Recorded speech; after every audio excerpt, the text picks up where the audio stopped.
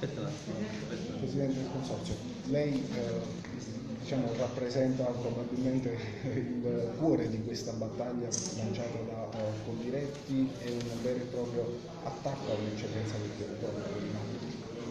Ma senza dubbio è un attacco alla- al nostro dopo, però è una cosa sicuramente sorrideremo perché c'è la coesione dalla parte del nostro consorzio, di tutti gli associati ad andare avanti, a far crescere il nostro prodotto e nel modo più sereno, più disteso di far conoscere la bontà del nostro prodotto e la nostra forza, è il territorio e il prodotto. Queste due cose, se unendolo a delle- una- uno- a dei personaggi veramente che ci credono in questo, in questo in questo programma, in questo prodotto, che è stata la nostra ricchezza per tanti anni e spero che lo sia, continui ad essere. Eh, il pomodoro San Marzano è una ricchezza unica, bisogna solo conoscerlo, tutto sta nelle informazioni.